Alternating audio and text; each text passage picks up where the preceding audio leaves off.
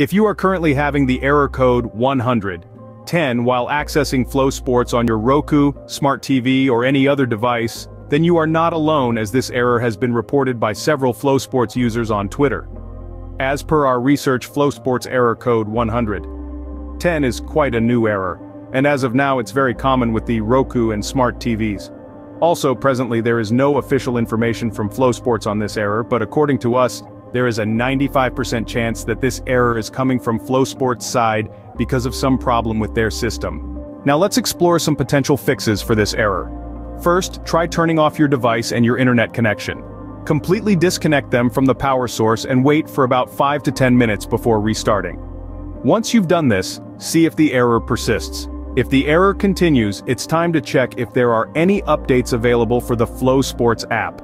A pending update could be the source of the error, so if an update is available, go ahead and install it. Next, see whether other apps on your device are functioning as they should. If they're experiencing issues as well, it might be time to check the speed and stability of your internet connection. If other apps are working fine, consider uninstalling and reinstalling the FloSports app. After uninstalling the app, restart your device, then go to your app store to reinstall FloSports. Once reinstalled, check again for the error. Another thing to consider is whether there are any pending updates for your device's firmware. Incompatibility between the FloSports app and your device firmware could lead to issues. If there are updates available, install them and check once more for the error.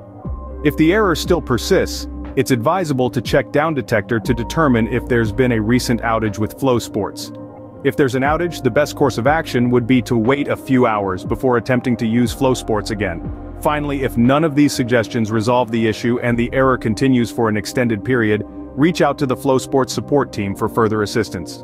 In summary, to fix the FloSports error code 110, you may need to restart your device and internet connection, check for updates for the FloSports app and your device firmware, uninstall and reinstall the FloSports app, or reach out to FloSports support.